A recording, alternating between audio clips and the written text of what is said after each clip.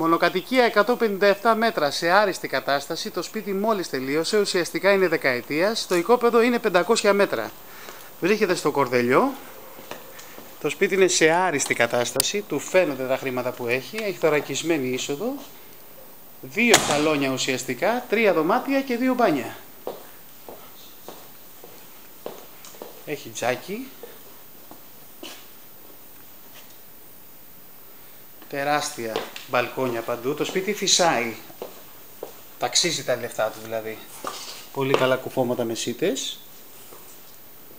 Το ένα από τα δύο σαλόνια με το τζάκι. Σε δύο επίπεδα το σαλόνι. Έχει γίνει πλήρως ε, πλήρη ανακατασκευή. Έχει χωριστή κουζίνα, να μην σου μιλήσει όλο το σπίτι.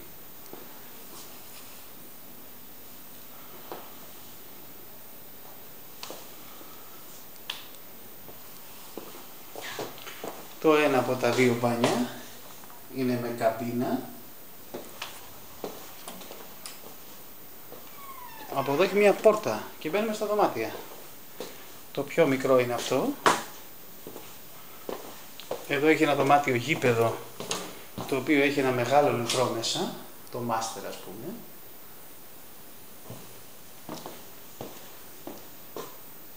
Μεγάλες δουλάπες, πολύ ωραίο πάτωμα, ωραία επισκέψιμο το σπίτι, διακριτικό και το τρίτο δωμάτιο.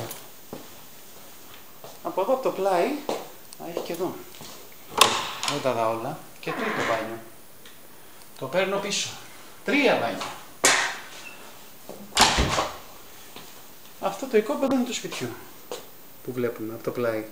Το σπίτι έχει κεραμοσκεπή, πολύ καλά θερμομονωτικά κουφώματα. Είναι ένα σπίτι όνειρο. Ταξίζει τα λεφτά του. Ανέμορφο. Και από εδώ έχει μπαλκόνι μεγάλο. Εξαιρετικό. Άμεσα διαθέσιμο, πεντακάθαρα χαρτιά.